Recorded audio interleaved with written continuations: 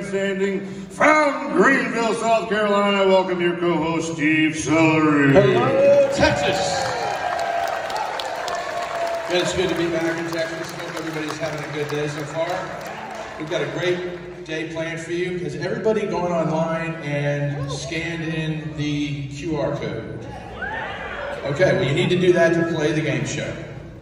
Now, we just got back from Oklahoma and they think they're louder, but we think you're going to be louder. So I want you to get as loud as you can right now for the chainsaw champion of Royal Oak, Michigan, Bruce Campbell.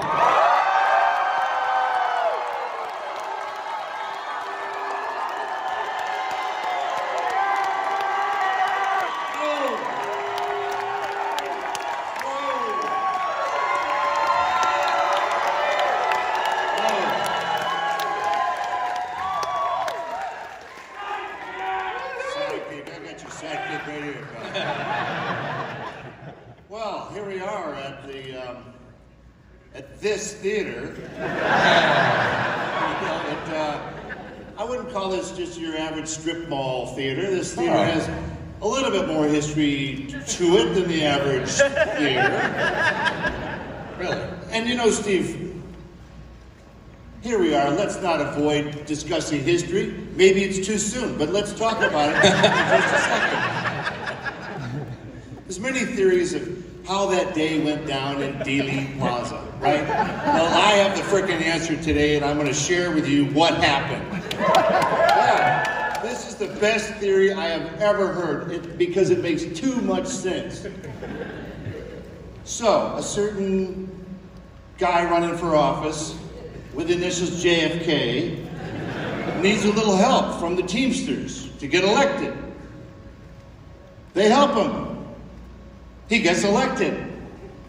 Who runs the Teamsters? Mafia. so yeah, Gesundheit. So they, he gets elected. They help get elected. Yeah.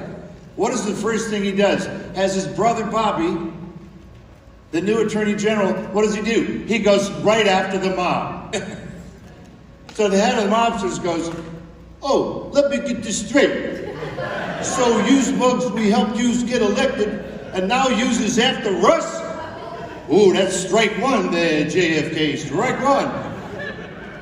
Then come to find out, JFK and the head of the mafia are having sexual relations with the same woman. How is that even possible, you ask? Who would be the guy to deliver the news to the head of the mafia? Uh, Mr. Giancarlo, yeah, uh, mm, uh, some stuff has transpired that I have become aware of. what, Vinny? Just tell me, spit it out. Yeah, JFK's stooping your lady. Excuse me for a second there. I thought you said JFK was stooping my lady. Yeah, yeah, yeah, that's what it says.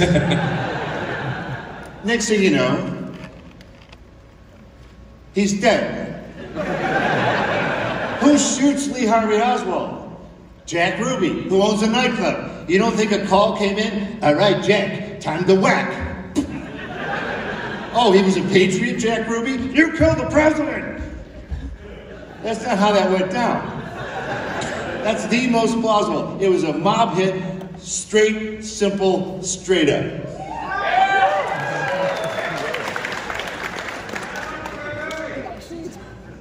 Anyway, on, on that happy note, let's start the game. Yes, yes.